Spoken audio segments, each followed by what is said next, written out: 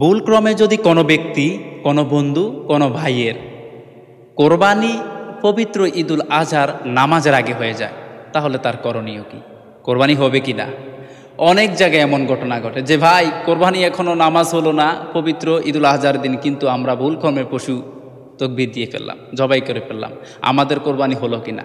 ভাই, দেখুন, একটা পশুতে একজন দুজন তিনজন, চারজন ব্যক্তি যদি শরিকদার হয় যেই কোনো একজন ব্যক্তি যদি নিজের এলাকাতে কোনো ঈদগাহে নামাজ পড়ে নেয় অর্থাৎ চার পাঁচজন ব্যক্তি একসাথে শরিকদার হয়ে পশু কোরবানি করছে, দুই তিনজন ভাই বা একজন দুইজন ভাইয়ে নামাজ পড়ে নিয়েছে অন্য ঈদগাতে, আর অন্য ভাই এখনও নামাজ পড়ে নাই, এর ভিতরে ওই দুই তিনজন ভাই এসে পশু কোরবানি করে ফেলল, তাহলে কোরবানি হবে কি না হ্যাঁ ভাই, এই অবস্থা হলে আপনার কোরবানি হবে, কোনো সমস্যা নাই।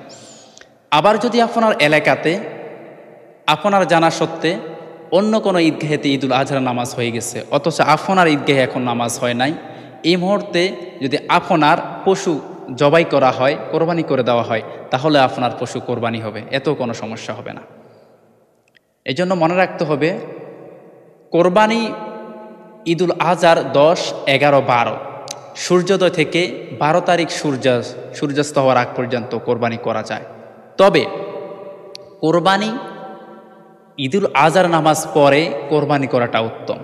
এই জন্য কোনো ভাই, শরিকদারের যে কোনো ভাই যদি কোথাও নামাজ পড়ে নেয় এলাকাতে এবং অন্য শরিকদের এখনও নামাজ পড়ে নেয় তাদের পশু জবাই করা হয়, কোরবানি করা হয়, তাহলে তাদের কোরবানি হয়ে যাবে। অথবা এলাকাতে যে কোনো ঈদগাহে যদি ঈদের নামাজ হয়ে যায়, অথচ তার ঈদগাহে এখনও নামাজ হয় নাই, তার পশু জবাই করা হয়েছে, তাহলেও তা তার কোরবানি হয়ে যাবে, এতে কোনো সমস্যা হবে না।